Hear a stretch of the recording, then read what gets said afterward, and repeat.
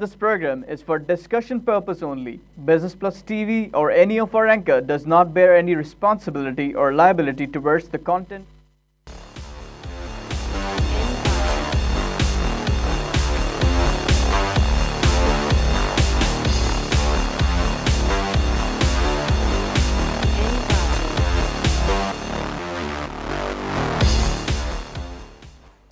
This is Business World broadcasting live from Karachi, Pakistan. You're watching Tips of the Trade. I'm your host Tariq Khan Javed नाजिन आज के market में शदीद मंदी है। अ, कुछ लगता है ब्लास्ट का भी इम्पैक्ट है। एट पॉइंट प्लस होने के बाद से मार्केट मुसलसल गिरते गिरते एकदम नीचे आ गई और 283 माइनस पे चली गई थी क्लोज से पहले। क्लोजिंग से पहले कुछ मूवमेंट हुई थी अपवर्ड्स और उसके बाद खुलने के बाद भी थोड़ी सी मूवमेंट अपवर्ड हुई। लेकिन उसके बाद फिर मज़ीद नीचे आई। और फिर थोड़ी सी अभी आखिर वक्त में अभी थोड़ी सी इम्प्रूवमेंट नज़र आई है।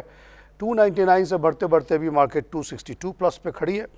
और वॉल्यूम माशाल्लाह बहुत है 292 मिलियन का काम ऑलरेडी हो चुका है। आजकल हम तीन तीन सौ मिलियन का काम देख रहे हैं which is very encouraging very healthy आज की जो बड़ी खबर है वो बाइकों के सिलसिले में है। बाइको अ, ने डिसाइड किया है कि उसकी जो तीन कंपनियाँ हैं उसको मर्ज कर दिया जाए। इसके ऊपर हम अभी वर्किंग कर रहे हैं कि इसकी क्या इम्पैक्ट आना चाहिए प्राइस वगैरह पे। जो शेयर बाइको आप लोगों के पास है अ, वो वो जो है अ, जो लिस्टेड है अ, वो कंपनी का शेयर अभी इक्कीस बाईस का है। मर्जर के बाद कितने पे आएगा इस पे अ, हम अभी आपको बताते हैं थोड़ी देर में। आज की जो और अहम खबर है वो ये है कि कल जो मार्केट आपकी गिरी कल कितनी ज़्यादा नहीं 71 पॉइंट ही गिरी थी। लेकिन इसमें गोरों के बहुत बड़ा हाथ था, उन्होंने two point three point nine eight share भेजे। आप लोगों ने फिर भी हिम्मत पकड़ी और 0.29 शेयर परसेंट ख़रीद लिए। गोरा जाएगा, आप लोगों को शेयर को पकड़ना है और इसकी आपको परवाह नहीं करनी है।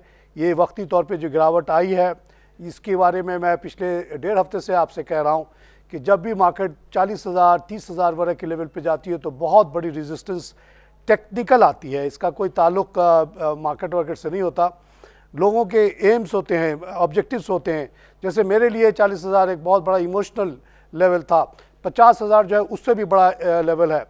मैं तो कहता हूँ, जिस दिन पचास हज़ार जो है, मैं मर जाऊँ खुशी से। तो इस तरह से जब ये लेवल्स पहुँचती हैं तो बहुत सारे लोगों ने जो जो लगाया होता है अपना ऑटोमेटिक सेलिंग इंस्ट्रक्शन कि जब मेरा शेयर सौ से बढ़ के डेढ़ सौ का हो जाए, आप इसको फ़ौरन बेच दो क्यों क्या ठिकाना कि फिर से वापस ना गिर जाए। तो इस तरह से जो लोग अपना एक एम बना के चलते हैं, वो बहुत बड़ी सेलिंग लगा के छोड़ते हैं। इसी तरह एक और चीज़ होती है जिसको स्टॉप लॉस कहा जाता है कि अगर आपने एक शेयर सौ रुपये का ख़रीदा तो आपने अपने जहन बनाया कि ठीक है, सौ रुपये का मैंने लिया है, जिस दिन अस्सी हो जाएगा, यानी बीस रुपये का नुकसान हो जाएगा, मैं इसको डील को ख़त्म कर दूँगा। मज़ीद दो, बीस रुपये से ज़्यादा मुझे लॉस नहीं लेना। इसी तरह प्रॉफिट का भी लोग कुछ टारगेट्स करते हैं। और जब वो टारगेट अचीव हो जाता है तो लोग निकलते हैं। तो ये टेक्निकल गिरावट तो बिल्कुल एक्सपेक्टेड है अभी भी होगी। मैंने जो प्रडिक्शन किया है कि 39,000 पे जाएगी मार्केट तो जाएगी है लेकिन आ, इससे जो लॉन्ग टर्म इन्वेस्टर्स उनको घबराने की कोई ज़रूरत नहीं है। ये शॉर्ट टर्म जिन्होंने लिस्ट लगाया हुआ लिमिट वो निकलेंगे निकला करें। आपको तो बहुत आगे तक जाना है। वो तो 100 से 150 पे जाके खुश हो गया लेकिन आपको तो हज़ार पे जाना है।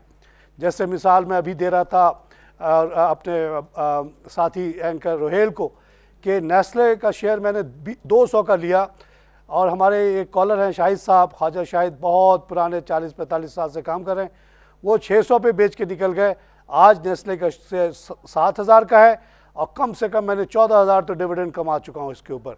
तो ख्वाजा शाहिद भी एक बहुत अक्लमंद आदमी, उन्होंने चार सौ कमाया, खुशी से निकल आए। मैं भी थोड़ा कम अकल वाला आदमी कम दिमाग वाला आदमी सीधा साधा पठान हूँ और मैं आज तक बैठा हुआ हूँ। अब आप आप जज कीजिए कि कौन ज़्यादा अकलमंद है। आइए एक लाइव कॉल से बात करें।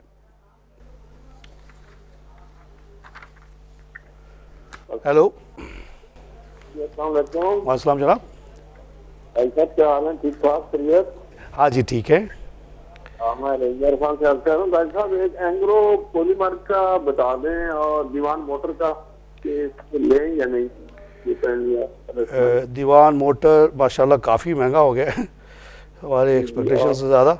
अच्छा एंग्रो पॉलीमर जनाब, एक अनबाय सॉरी अनवायबल कंपनी थी, एंग्रो ग्रुप ने कई चीज़ें लगाई, इसमें एक आध चीज़ गलत भी नहीं लगाई, और ये एंग्रो वालों से चल नहीं रहा था, ये तीन रुपये वाला पे रुका हुआ था और एक और बड़ी कंपनी कोई सिंथेटिक कंपनी है, उसने आके इसको टेक ओवर के लिए कोशिश की और ले भी ली थी शायद, या ऑफ़र दे दी थी। और इसके बाद हमने देखा कि इसका शेयर बढ़ते बढ़ते आठ नौ रुपये का हो गया। लेकिन फिर खबर आई कि वो जो जो कंपनी लेना चाह रही थी उसने फिर से अपना हाथ हटा लिया है। और लेकिन अभी भी ये शेयर ऊपर पड़ा है। मेरी ज़ाती राय में इस तरह के पॉलीमार वाले की जो प्रोडक्ट्स हैं, पाकिस्तान में वाइबल नहीं है। क्योंकि अरबों से बहुत ज़बरदस्त कंपटीशन है। उनसे इस फ़ील्ड में हम नहीं जीत सकते। अरब जो है ज़ाहिर तेल पैदा करते हैं पैसा भी उनके पास बहुत है। तो ऐसे चीज़ में दीवान मोटर का जो ताल्लुक़ है मैंने इसको उस वक्त बोलना शुरू किया ख़रीदने के लिए जब ये दो रुपये का था क्योंकि दीवान ग्रुप ने खबर फैलाई कि रिनॉल्ड के साथ मिल के वो एस बनाएँगे जो कि 25 लाख में बेचेंगे। ये कई एक, एक, एक, एक डेढ़ साल पहले की बात है। उसके बाद ये शेयर आठ रुपये का हुआ दस रुपये का हुआ आज इक्कीस रुपये का हो गया।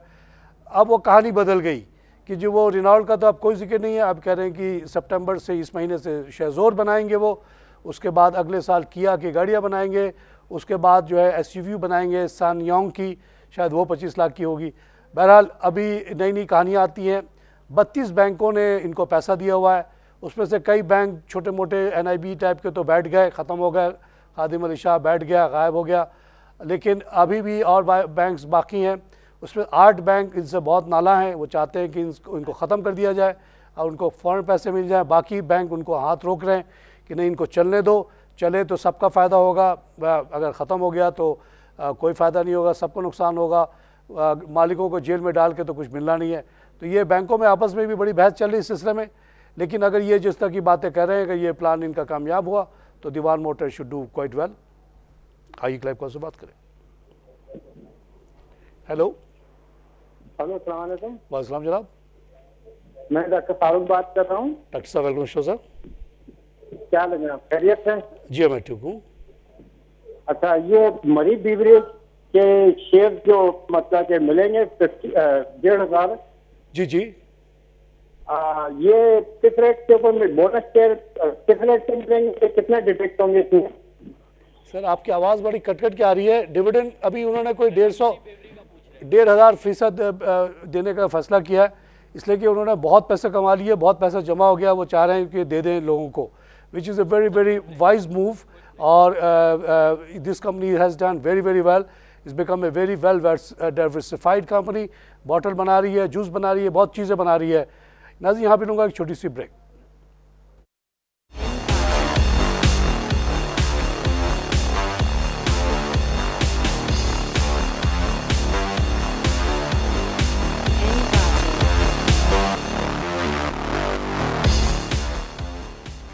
welcome back to tips of the trade नाजिन आज की जो अहम खबर है एक और, वो है कैपको का रिज़ल्ट और लकी का रिज़ल्ट लकी का रिज़ल्ट जनाब आया है 16.16 बिलियन इसने कमा लिया है, जो कि जून 30 तक, जो कि 9.3 बेहतर है पिछले साल से।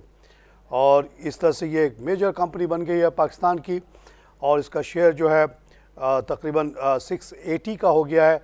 ये वही कंपनी है जो आ, 2009 में मेरे ख्याल में 40-50 रुपए पे बिकती थी। तो जिन लोगों ने लॉन्ग टर्म सोचा अच्छा सोचा पाकिस्तान के बारे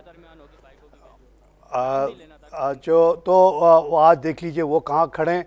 आज जो लोग नेगेटिव बातें करते रहे गंदी गंदी बातें करते रहे पाकिस्तान के बारे में उनका मुँह काला हो चुका है।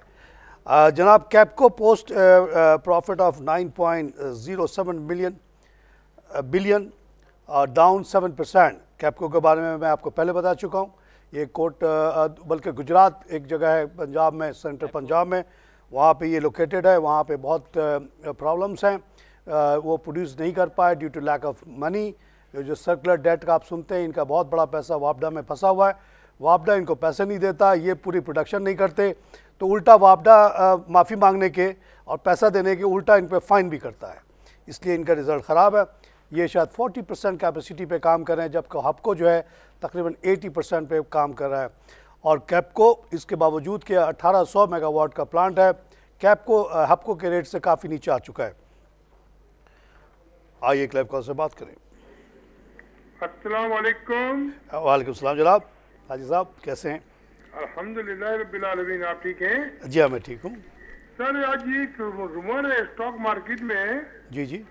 कि एनआईडी बैंक जो है वो मियाँ मंसूर साहब ने टेक ओवर कर लिया हुआ है। जी जी। और ये अप्रूवल के लिए इस वक्त स्टेट बैंक ऑफ़ पाकिस्तान में पड़ा हुआ है। ये बिल्कुल रूमर नहीं है बिल्कुल ये फैक्ट होना चाहिए? देखिए ये पहले से ही ये बैंक ख़त्म हो चुका है तबाह हो चुका है। इसके जो मालिकान है वो सिंगापुर की कंपनी है तेस्मैक सिंगापुर की गवर्नमेंट की इन्वेस्टमेंट कंपनी है। मोस्ट मैं सिंगापुर में काम कर चुका हूँ, वहाँ से ज़्यादा जहीन लोग मैंने दुनिया में नहीं देखे पर कैपिटा। लेकिन वो तस्मक ने यहाँ पे इतनी बड़ी इन्वेस्टमेंट की पिकिक बैंक और बहुत सारे बैंकों को मिला के ये बैंक बना और बिल्कुल ही उसको ठीक से चला नहीं पाए। 540 बिलियन मिलियन का जो उनका इन्वेस्टमेंट था, वो उसमें से 440 ऑलरेडी लॉस हो चुका है और सिर्फ़ 100 मिलियन वो मांग रहे हैं अपने शेयर के बदले में। लेकिन क्योंकि उनकी बार्गेनिंग पावर नहीं है उन्होंने बहुत ज़्यादा गलत लैंडिंग कर दी है उसकी जो है अब जो बायर है उसकी मर्ज़ी है अपने ऑडिटर से जो रेट निकलवाएगा उस पर ले लेगा। मेरी अपनी पर्सनल जजमेंट है जो चीज़ हमने खादिम अली शाह बुखारी बैंक में देखा वो यहाँ भी होने वाला है।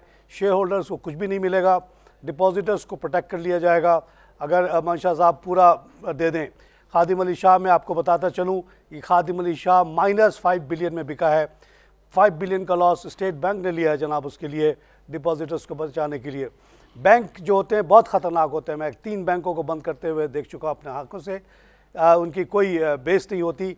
दो चार का आपके जैसे इनका दीवान में बहुत बड़ा लॉस हुआ और जगह लॉस हुआ तो जो कैपिटल था उड़ जाता है गायब हो जाता है उसकी वैल्यू कुछ नहीं बचती। तो ये खबर पक्की है और ये अगर ये एम सी बी इसको ले रहा है मंशा साहब का नाम ना लीजिए आप यहाँ पे एम सी बी का नाम लें आप। तो ये बहुत बड़ी मेहरबानी कर रहा है बैंकिंग सिस्टम को बचा रहा है वो।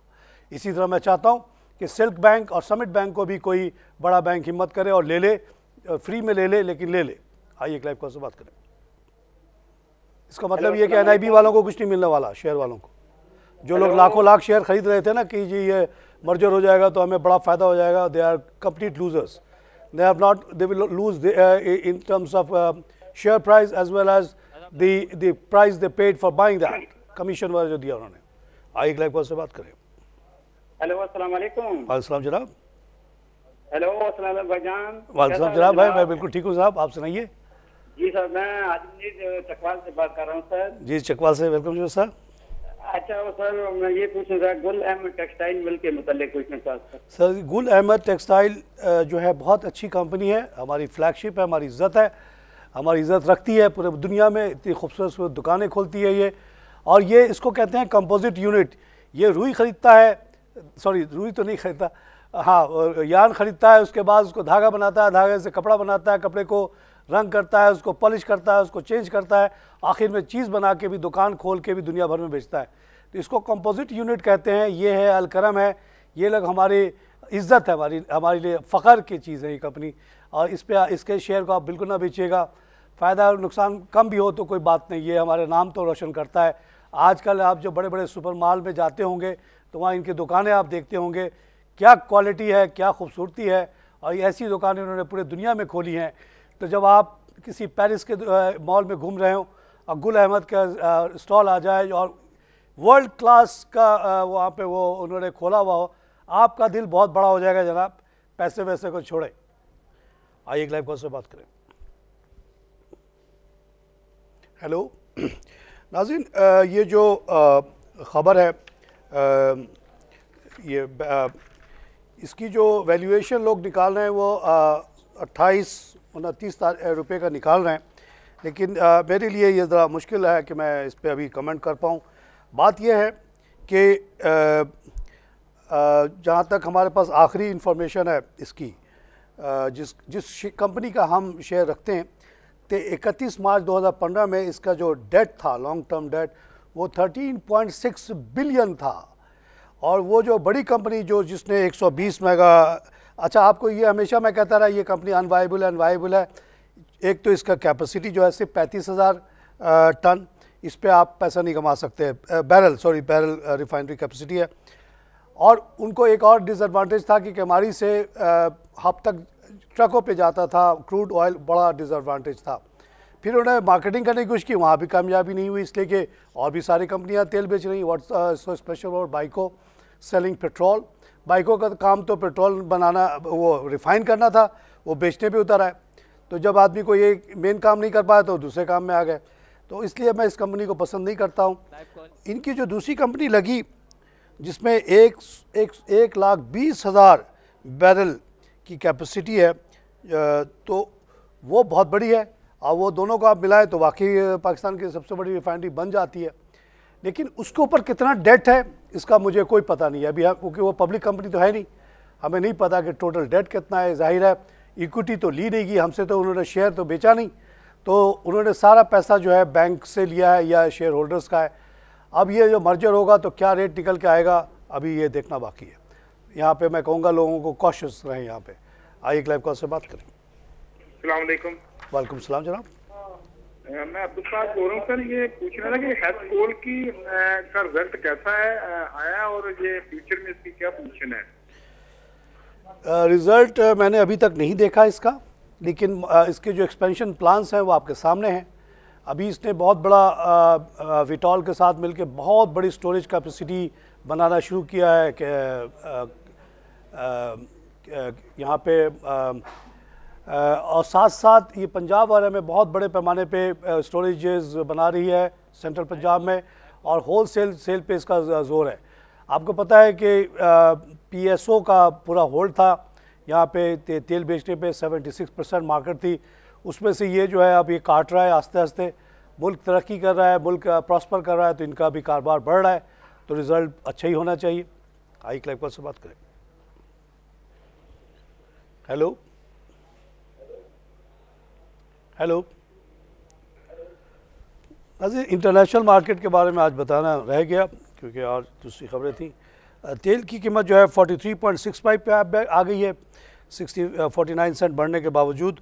और ये आपने देखा कि 50 के करीब जाते जाते जो नीचे आई तो 40 के करीब चली गई है।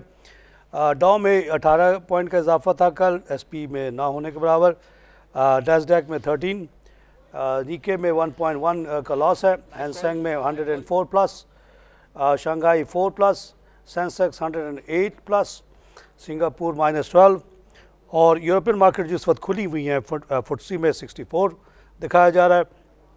डेक्स 20 प्लस है. कैक 41 प्लस है. आई बैक्स 28 प्लस है. आई क्लेव कॉल से बात करें। तारिक साहब। वालेकुम सलाम जनाब। सर ये तारिक साहब ये कह रहे हैं जो निप बैंक के शेयर होल्डर को कुछ नहीं मिलेगा तो सर क्या इसका रेट ज़ीरो कर देंगे? इसके बारे में थोड़ा गाइड कर दें। आपको ये बताइए कि खादिम अली शाह पे किसको क्या मिला? वही इसमें भी मिलेगा। तो रेट पहले नीचे आ गया था ना इसको तो अभी ओवरटेक कर रहा है। ओवरटेक करने से क्या होता है? आप आप कहें कि मेरा बैंक मुझसे ले लो तो मैं कहूँगा मैं आपको ज़ीरो पैसे दे रहा हूँ देना है तो दो नहीं तो जाओ। तो आप क्या करोगे? खादिम अली शाह ने तो पाँच बिलियन माइनस दे खरीदने वाले को पाँच बिलियन दिया है। स्टेट बैंक ने दिया है गारंटी दी है। तो बैंकों के इसीलिए मैं कहता हूँ बैंक हो इंश्योरेंस हो इस तरह की जो हवाई कंपनी है इससे आम आदमी दूर रहे तो अच्छा है उसके लिए। एनआईबी एक ज़माने में बड़ा नाम था इसका। इसका जो एक कंपोनेंट बैंक था पिकी कमर्शियल बैंक उसके प्रेसिडेंट प्रेसिडेंट बनाने के लिए मुझे बुलाया गया था थ्रू ए लंदन कंसल्टेंट और मुझे जॉब ऑफ़र हो गई थी। लेकिन तनख्वाह थी तेरह हज़ार और एक सुजुकी गाड़ी और ड्राइवर और घर। और उस ज़माने में मैं कमाता था साढ़े पाँच लाख रुपए बाहर। तो जब मैंने उनसे कहा कि भाई थोड़ा सा बढ़ाओ तो कहते, जी, ये आप डिप्टी सेक्रेटरी को रिपोर्ट करोगे, उसकी तनख्वाह तो तीस हज़ार है तो आपको उससे ज़्यादा कैसे मिलेगा? मैंने बहुत बहुत शुक्रिया कह के चला गया था।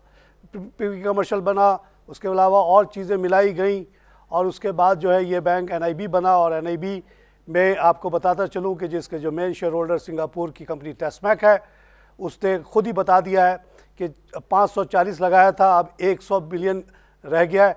तो वो कोशिश करेंगे कि एन ये इससे मांगे मुस्लिम कमर्शल से 100 मिलियन ताकि वो अपना कुछ तो बचा के ले जाए। मगर मुझे नहीं लगता कि एमसीबी उनको देगा। क्यों देगा? क्योंकि वो बार्गेनिंग पोजीशन में है। आइए क्लब का सुबह दे। हेलो जी सलाम वालेकुम। जनाब। नफीसा दादा बोल रही नफीसा वेलकम शो मैडम बहुत दिनों बाद। हाँ बहुत दिनों बाद लाइन मिली है आपकी।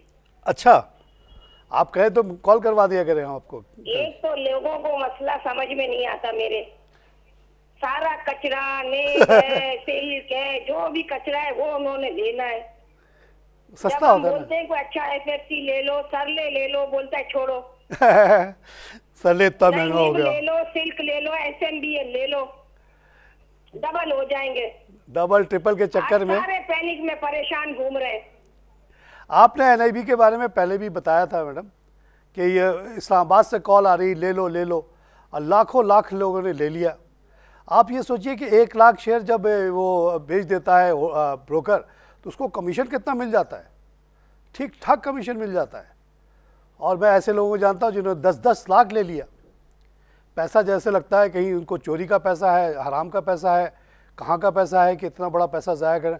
आम लोगों से कहता हूँ कि ऐसे ऐसे शेयर से आप लोग बिल्कुल दूर रहिए जहाँ पे आपको कहानियाँ सुनाई जा रही हों कि ये डबल हो जाएगा ट्रिपल हो जाएगा।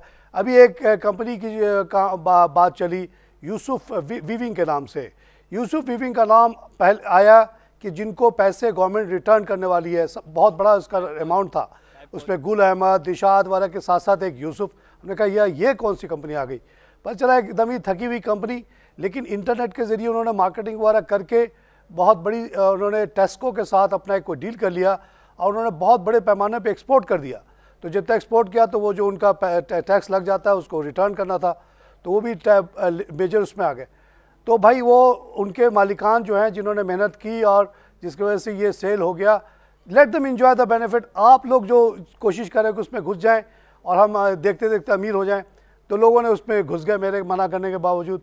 अब कल से उस पर लोअर लॉक पे लोअर लॉक लग रहा है। लाइव कॉल जो कमाया होगा सब उड़ जाएगा उल्टा नुकसान हो जाएगा उनका। आइए क्योंकि बहुत सारे डायरेक्टर्स जब देखेंगे मार्केट रेट बढ़ गया वो बेच के निकल जाएँगे। कि उनको पता है कि ये टेस्को का एक डील आ गया उससे कमाई हो गई इसका मतलब नहीं कि यूसुफ विविंग हमेशा के लिए अच्छा हो गया। आइए एक लाइव कॉल से बात करें। वो इंतज़ार में होंगे कि छः रुपये का शेयर हो बेच के निकलें। जैसे छः रुपये का हुआ होगा, उन्होंने डाउनलोड कर दिया ऑफलोड कर दिया हो ये इस तरह के शॉर्ट टर्म गेन के चक्कर में न जाएँ। नफीसा दादा आप लोगों को बार बार समझाती हैं कि जो कॉल वॉल आती है, आप समझते हैं कि बड़ा सिंसियर कोई कॉल कर रहा है। वो आपको उर्फ़ आम में ये सब लफ्ज़ इस्तेमाल करना नहीं चाहता टीवी पे। इसको कहते हैं पहनाना। यानी आपको बेवकूफ़ बनाएगा ये इस तरह की कॉल पचासों स्टॉक एक्सचेंज के जगह जहाँ लोग बैठे होते हैं। वहाँ जाते हैं कि आज इसको चलाओ आपको फ़ायदा आपको हम सपोर्ट करें। और उसका नाम लिया जाता है सब जगह से एक आवाज़ निकलते है Yusuf Yusuf Yusuf N I B N I B N I B लो लाओ लाओ एन आई बी लाओ एन आई बी और लोग लेना शुरू कर देते हैं उससे वाकई वो बढ़ भी जाता है उस वक्त वक्ती तौर पे। और जो असल जिसको जान छुड़ानी होती है वो उसके बाद धड़ाधड़ उसको बेचता है वो निकल जाता है और लोग फंस जाते हैं बहुत बड़े लॉसेस पे। ये रोज़ाना होता है ये खेल। आजकल एक नाम नहीं लूँगा एक कंपनी को एक कंपनी चला रही है। अ, क्या अ, उसका नाम है बहरहाल वो ऐसी केमिकल की कंपनी है उसको बढ़ाए जा रहे हैं उसके बाद वो आउट हो जाएँगे। एक रेफरेंस चल रहा है इस वक्त एन आई बी नैब में और जहांगीर सिद्दीकी के हवाले से कि उनका जो है उनकी एक कंपनी चौदह सौ रुपये पे गिर के वो बीस रुपये पे आई। उसके बारे में पूछा जा रहा है। दूसरा एक कंपनी था आज वो लिस्ट में भी है एसगार्ड नाइन। जब मैं 2009 में आया तो हर बच्चा पढ़ा लिखा मॉडर्न मॉडर्न लड़के, लड़कियाँ बैठी हुई हैं वो हाउसेस में शेयर हाउसेज में, और हर आदमी कहता है, जी एसगार्ड लाइन ले लो। मैं बड़ा इम्प्रेस मैंने कहा, यार एसगार्ड लाइन कोई लगता है बड़ी मल्टीनेशनल अमेरिकन कंपनी है, जो कि जिसको सब बच्चे कह रहे हैं? तो ये जनाब, ये शेयर जो था 110 तक का चला गया। यही शेयर आवाज़ निकाल निकाल के, बाय लाओ एसगार्ड लाओ एसगार्ड तो 110 के बाद वो गिरा तो दो रुपये का हो गया। आज वो चार रुपये पैंसठ पैसे का है। इस पर सात पैसे का इजाफा हुआ है। तो इस तरह के खेल वेल में आप लोग ना पड़ें। आम आदमी जो मेहनत मजदूरी के पैसे लगा रहा है एक एक पैसा आपका जो है बहुत ज़्यादा अहम है। और ये ख़रीद फ़रोख्त में जो इतना बड़ा कॉस्ट है, वो आपको कोई नहीं बताएगा मेरे अलावा, क्योंकि मैं आपसे कोई कमीशन नहीं लेता हूँ, मैं क्यों आपसे झूठ बोलूँ? मैं तो आखिरत के लिए काम करता हूँ। तो आप इन चक्करों में ना पड़े। सोच समझ के सौ पचास कितनी आपकी कैपेसिटी है? आम आदमी की क्या कैपेसिटी होता है? आम आदमी तो एक घर बनाते बनाते ही थक जाता है। पहले आपने एक घर बना लिया बहुत अच्छा किया। उसके अलावा कुछ अ, कैश का पैसा रखें ताकि किचन चले इलेक्ट्रिक का बिल देने के लिए पैसे हो मेडिकल के लिए बिल उसके लिए आप शेयर खरीदते हैं या एक दुकान खरीदते हैं घर खरीदते हैं किराया आएगा। तो बहुत सोच समझ के आपको लेना है। शेयर में आप ज़्यादा से ज़्यादा बीस कंपनी को चूज़ कर लें आपके लिए काफ़ी है एक आम आदमी के लिए। बहुत बड़ा आदमी है तो सौ कंपनी में चला जाए। लेकिन अच्छी अच्छी कंपनी जिसमें कोई वेट है जिसके अंदर कुछ है झील पार्क बंद पड़ा हुआ है ज़माने से बंद पड़ा हुआ है। अभी भी मैं कहता हूँ दस रुपये से कम उसकी वैल्यू नहीं है। लड़ रहे हैं दो बड़े वडेरे उसके लिए। क्यों लड़ रहे हैं? वैल्यू है। अगर वैल्यू ना होता तो कोई नहीं पूछता उसको। आइए क्लाइव कॉल से बात करेंगे एन के लिए कोई नहीं भाग रहा। हेलो आइए क्लाइव कॉल से बात करें। हेलो हेलो अस्सलाम वालेकुम। वालेकुम जनाब। हाँ जी तारिक साहब लाहौर से बात कर रहा हूँ अरफात। जी सर। तारिक साहब एक एंग्रो फ़ूड का बताएँ बहुत नीचे चला गया है। हाँ और दूसरा फौजी सिमट के बारे में बताएँ इसकी प्रडिक्शन क्या है। और तीसरा मेरा क्वेश्चन है कि फाउंडेशन सिक्योरिटी एक ब्रोकर है। जी, जी। इसके बारे में कुछ बताएँ। फाउंडेशन जो है जनाब अस्करी ग्रुप का है। हमारे फौजियों के ग्रुप का अच्छा अच्छ, बहुत अच्छा है। एफ़ के बारे में बताते चलूँ कि उनका जो प्लांट वन था, वो मेंटेनेंस के लिए बंद था। लेकिन, माशाल्लाह, वो जुलाई कुछ कुछ दिन पहले वो चल पड़ा है। तो सेकंड जो जो, जहाँ पे वो गिर गया था साइलो उस पर बहुत तेज़ी से काम जारी है। इन एक दो महीने में वो भी तैयार हो जाएगा। बेहतरीन कंपनी इसको आप बिल्कुल ना बेचिए। ले लीजिए, मज़ीद सस्ता मिल रहा है अभी। ई फ़ूड का मसला ये हुआ कि पहले तो एंग्रो ने बेचा अपना 51 percent share at a very very low price at 120 टू क्या Friesian company Friesian Dutch company को। और अब जो बाकी शेयर बच गए, उसको भी बेचने पे लगा हुआ है। अब वो औने पौने बेच रहा है, उसको पैसे की बड़ी सख्त ज़रूरत है। ऐसा लगता है कि एंग्रो ग्रुप लिक्विडिटी क्राइसिस में आ गया है, कि अच्छे अच्छे एसेट्स को इस तरह से फेंक रहा है। इसलिए इसकी कीमत जा रही है नीचे। लेकिन ये अगर आप यलपर दूध, आपकी वाइफ से पूछिए कि यूज़ करती है कि नहीं। बच्चे से पूछे कि अमोर आइसक्रीम खाता है कि नहीं। अगर खाता है, पसंद है तो ये शेयर ऊपर ही जाएगा, वक्ती तौर पे गिर रहा है, गिरने दे इसको। अगर आपके पास है, आराम से बैठे। कहीं नहीं जा रहा आपका इन्वेस्टमेंट ये टफ कंपटीशन देता है वॉल्स को, जो कि लिवर ब्रदर्स का अगर ये ना होता, अमोर ना होता तो वॉल्स वाले अब तक अपनी कीमत चार गुना कर चुके थे, जैसे दुनिया में और जगह किया है। तमाम कंपटीशन को क्रैश करके डिस्ट्रॉय करके मैक्सिमम प्रॉफिट कमाना शुरू करते हैं। Engro is giving them competition तो ये कंपनी ठीक है। और मैंने इसको प्रोजेक्ट किया हुआ है वन थाउज़ेंड का रेट इन ड्यू कोर्स अगर आप हिम्मत, सब्र से बैठे रहें ये हज़ार रुपये का आप देखेंगे मैं हूँ ना हूँ। आई लाइफ से बात करें। हेलो अस्सलाम वालेकुम। वालेकुम सलाम जनाब। खान साहब क्या हाल चाल है? हाँ भाई ठीक हो जनाब। बड़े अच्छे मशवरे देते हैं आप। बहुत लोगों की दुआएँ दिल से दुआ निकलती है सर। बहुत शुक्रिया सर। इसी की तरह और कुछ नहीं रही बात ज़िंदगी में। सर ये दो चीज़ों का पूछना था नया नया काम शुरू किया है मैंने जी जी बताइए। ये Fauji food F F L जी जी। और एक क्लोवर पाकिस्तान, ये लेना चाहिए। देखिए, क्लोवर तो अच्छी खासी इस्टेब्लिश पुरानी कंपनी है, ये तो आप बिल्कुल लें। सब कंपनियों का काम बढ़ रहा है, इनका भी बढ़ रहा है। जो एग्जिस्टिंग प्लेयर हैं, ज़ाहिर है, उनको एडवांटेज है। एफ़ एफ़ एल जो है, नून और एफ़ एफ़ बी एल के इश्तराक से नई कंपनी बनी। और ये, लेकिन इसके बढ़ते बढ़ते ही लोगों ने इसको इतना ज़्यादा, जैसा कि अक्सर हम देखते हैं कि लोग बहुत ओवर वैल्यू कर देते हैं और कीमत इसकी बहुत ज़्यादा बढ़ गई। उसके बाद ये गिर के अपने लेवल पे आया है। तो अभी जो रेट इसका चल रहा है वो अच्छा है और इसका काम बहुत अच्छा है। ये भी शहरीर ग्रुप के तरह, अल शहरीर की तरह ये भी मीट एक्सपोर्ट की तरफ़ जा रहा है, जिसकी बहुत बड़ी गुंजाइश है। थ्री ट्रिलियन की ये मार्केट है। उसका अभी अगर हम थोड़ा सा भी शेयर ले लें तो we will be very well off और ये ये Pakistan is a very advantageous position to take the meat market of Gulf जो कि जहाँ बहुत बड़ी डिमांड है। आइए क्लाइव कॉल से बात करें। हेलो जनाब क्या हाल ठीक है? सर जी मैं ठीक हूँ अल्लाह का शुक्र है। सर ये शेयर है O X leasing over O L P L के इसका है code O L P L और अच्छा और एक लीजिंग की तो नहीं बात करें आप? जी जी सर। हाँ देखिए लीजिंग कंपनी में ये जापानीज़ कंपनी है और एक लीजिंग जो कि आपने आम आमतौर से देखा होगा आप पूरा सेक्टर देख लीजिए उठा के। मेरे पास ये है लिस्ट ये इससे बिल्कुल दूर रहिएगा आमतौर से लीजिंग से। और ये सो कॉल्ड लीजिंग कंपनीज़ मुदारबाज क्लोज एंड फंड ये सब बकवास हैं। अखबार में सबसे ऊपर इन्हीं का नाम होता है। इसी तरह इन्वेस्टमेंट बैंक्स बिल्कुल बेकार हैं यहाँ के ज़्यादातर। Commercial banks are okay insurance में भी ज़्यादातर अच्छे ही हैं, ख़राब भी हैं। देखिए लीजिंग कंपनीज़ की अगर बात की जाए, सबसे पहले हमारा नेक्स्ट कैपिटल चार रुपये का शेयर है, एक भी शेयर ना बिका ना घटा। और इस लीजिंग जो है 47 का है, और इसमें सत्ताईस पैसे का इजाफा हुआ छः हज़ार पाँच सौ शेयर बिका है। उसके बाद नाम आ रहा है सऊदी पाक लीजिंग का, जो कि 2.99 का है, चौदह पैसे घट के, मगर 9056 शेयर का काम हुआ इसमें कल। सिक्योरिटी लीजिंग दो रुपये का। तो आप देखिए कि पूरा सेक्टर बकवास है। सवाए ये और लीजिंग के, क्योंकि जापानी कंपनी थी, ये फिर भी अभी तक खड़ी है। लेकिन आमतौर से ऐसे कंपनियों से आप बिल्कुल दूर रहिएगा। लीजिंग वाले क्या करते हैं? ये कब आपको चाहिए, आपको कहेंगे, लो, कर्जे में ले जाओ इसे काम करो, वापस कर दो पैसे। अक्सर जो होता है करप्शन पाकिस्तान में इतना ज़्यादा है कि वो अपने रिश्तेदारों, दोस्तों को दे देते हैं कि, भाई, ले जाओ, पैसे वापस देने की ज़रूरत नहीं है। तो इसीलिए कंपनियाँ ख़त्म हो जाती हैं और तबाह हो जाती हैं। तो और लीजिंग अभी अच्छे रेट पे है। आपको मशवरा दूँगा कि उसको बेच के किसी और में चले जाएँ, किसी सॉलिड कंपनी को ले लें, जहाँ कोई चीज़ हो मज़बूत पकड़ने के लायक। इस पर पकड़ने का कुछ नहीं है। उसने तो आपसे पैसे लिए, चीज़ ख़रीदा, किसी को दे दिया।